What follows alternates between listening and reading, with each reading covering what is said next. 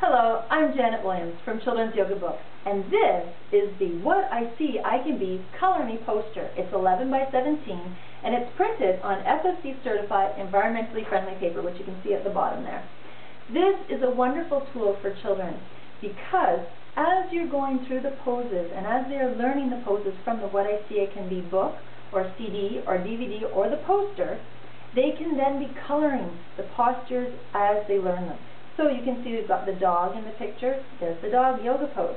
We have a cat in the picture. That's the cat yoga pose. So once they're finished coloring it, you can do a number of things with the poster, such as what something that I like to do. So this one's been colored by a child. I like to have the children then do a pose that is their favorite pose. We take a picture of them, tape it to the back, have the child write what their favorite yoga pose is, perhaps for Mother's Day gift or Father's Day gift, it's nice to have them, you know, write Happy Mother's Day. And then from there, you can laminate it. Then they can take this home. This can be their tool to teach their family how to do yoga. That's, of course, from a teacher's perspective. From a parent's perspective, they can do the same thing. This allows your children to be empowered to be the teachers of the yoga class.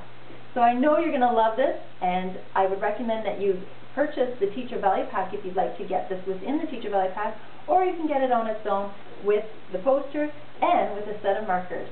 We know that you're going to love it, and I look forward to hearing from you.